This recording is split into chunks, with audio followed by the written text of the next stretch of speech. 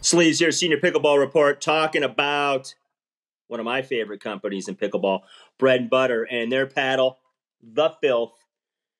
Trippy, trippy graphics, beautiful paddle. I'd argue the best looking paddle on the market. And, uh, you know, they just do all the little things right. Uh, long handle for the two hander, elongated face for us folks who have, you know, sort of uh, little tiny dinosaur arms. And they give you some color options on the trim as well. Um, they just do fun stuff. Check out their page, check out their website, check out all their merch. But most of all, check out the filth. I argue one of the hottest paddles on the market. Bread and butter. Here we go, baby. Hey, let's pickle.